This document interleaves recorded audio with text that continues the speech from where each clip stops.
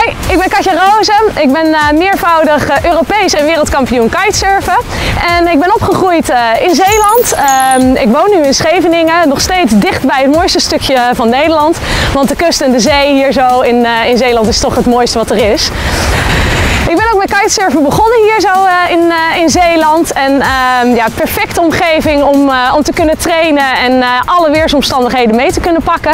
En ondertussen ben ik voor werk en voor privé en voor kitesurfen reis ik de hele wereld over. Mooiste stranden, mooiste exotische plekken. Maar toch, Zeeland en de mooie stranden hier, dat blijft toch echt wel iets aparts en echt mijn thuis. Want het mooie uiteindelijk blijft toch wel dat je hier uh, voor elke windrichting, voor elke uh, situatie hoef je maar 20 minuten te rijden en je kan het water op. Dus uh, ja, een betere plek is er eigenlijk gewoon niet.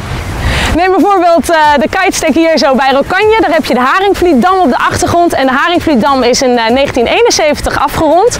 Heeft in totaal 17 openingen van zo'n 60 meter breed. En laat het water van de Rijn en de Maas, wat hier het overtollige water, laat het naar de zee toe. En andersom kan ook het zoute water naar binnen gelaten worden in zeer strenge winters om ijsvorming in het binnenwater te voorkomen. Overal zijn die Haringvlietsluizen en de super indrukwekkend, dus uh, kom binnenkort een keer kijken.